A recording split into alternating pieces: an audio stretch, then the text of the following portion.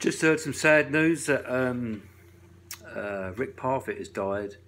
Um, Rick was a member of Status Quo, a band that I really got into in the early 70s, mid 70s. Saw them five or six times maybe.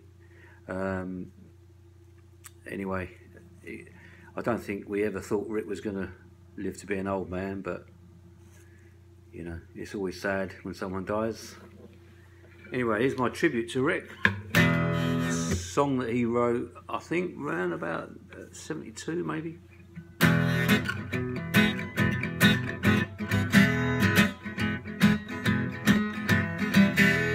My own take on it.